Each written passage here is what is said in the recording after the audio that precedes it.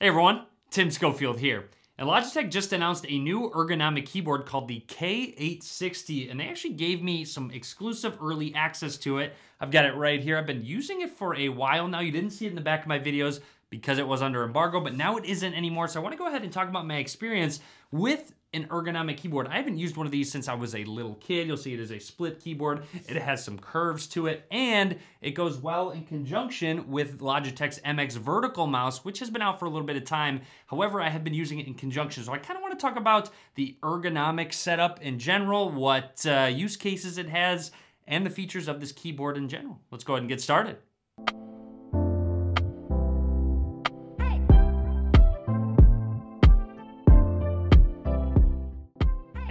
Close look at the keyboard. Want to show off, it does have a number pad, which is nice, and show off the angles and the curvature of the keyboard. Now, it did take a little bit of time. It took me about a week to really get comfortable using it, get used to it. One nice thing about it that they implemented is a little extra space on some of the keys to make you uh, kind of get used to it and easier in case you accidentally miss it. So T with a lot, 7, 6, G, N, H. There's a lot of different keys with some extra space so you don't end up missing these keys. The wrist rest is firm. It has a little bit of give, and I actually think it's really comfortable, especially because you can put the keyboard at an angle that is most comfortable on your wrist and you're not just pressing down on the wrist rest. It's actually evenly distributing where your weight is going, so it doesn't need to be crazy cushiony. So I actually really like it. Moving on to battery life on this keyboard, and something interesting is that it isn't rechargeable. Actually, when you take a look at the keyboard, there are no ports surrounding it at all, which means you can't have a wired connection with this keyboard, which in my opinion is completely fine. I actually prefer wireless keyboards. Anyways, it does take two AAA batteries, which you might think, oh, I don't wanna have to swap out batteries. I don't wanna have to have any on hand. But Logitech says that battery life will be about two years. So around that two year mark, you're gonna have to go find yourself two more AAA batteries. And that seems like a crazy amount of battery life. So there is a downside to that. How do you get two years of battery life out of just two AAA batteries? There is no backlighting to this keyboard. So I think it's kind of up to you to determine whether you need that backlighting or not. Of course, with a keyboard with backlighting, it drains way more battery than one that does not have it.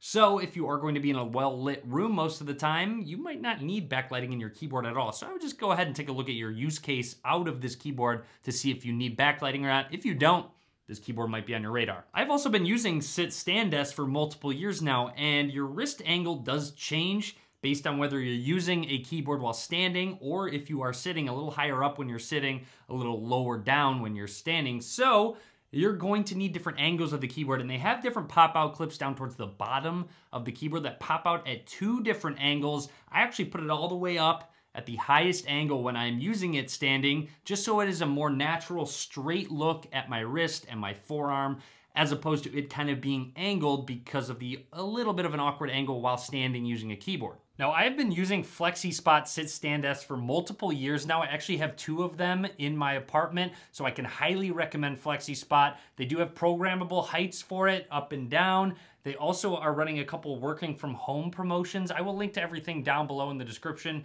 including some coupon codes as well. And as I always like to do, here's a quick typing sound test.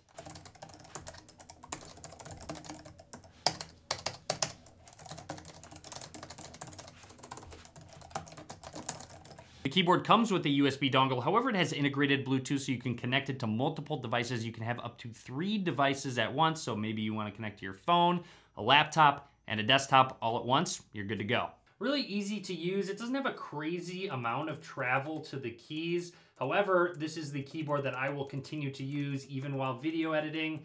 I definitely like the ergonomic shape and you can tell over extended periods of time of typing and video editing, you just feel a little bit more relaxed on your wrist and just your arms in general. And here's a close look at the MX Vertical from Logitech. Looks like a normal mouse from this angle, but the bottom is right here. So it sits at a 57 degree angle, which is similar to if I reached out for a handshake and then just go ahead and put your hand on the mouse. So a more natural position, instead of having to flip your hand over flat, it's more natural like when your hand sits at your side as well, just go ahead and fit the mouse right into your hand. Logitech says this will reduce muscular strain by about 10%. And taking a look at it, I've been really happy with this mouse overall. It has never disconnected on me. It does have a USB-C port for extra charging. In terms of battery life, about four months on a full charge. When it comes to the buttons, it has two side buttons, easy to reach with your thumb.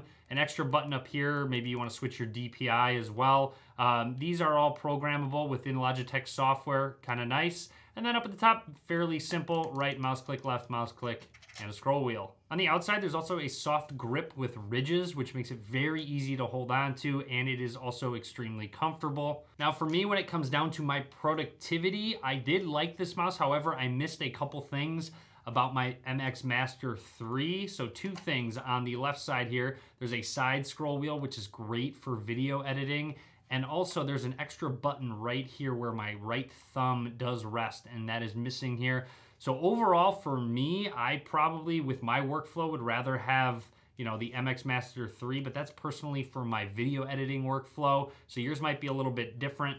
Overall, the MX Master 3 has been my favorite mouse I've ever used. However, if you do have any sort of muscular strain or you are worried about it or want just more an ergonomic of a setup, this is also a great mouse option. It didn't take long to get used to the position of the mouse, but one thing I have not been able to get over with this mouse is when I switch from using the mouse to typing really quickly. A lot of times it doesn't become an issue, but every once in a while my pinky will catch on the top part of the mouse and make the mouse go flying. So that is just something that over maybe a month I have not gotten used to and I still continue to do it. And overall, that's everything I want to talk about with the Logitech Ergo K860 keyboard and my ergonomic setup in general with the sit stand desk from FlexiSpot and the MX vertical mouse. Uh, definitely sticking with this keyboard. Nice coupling it with the sit stand desk.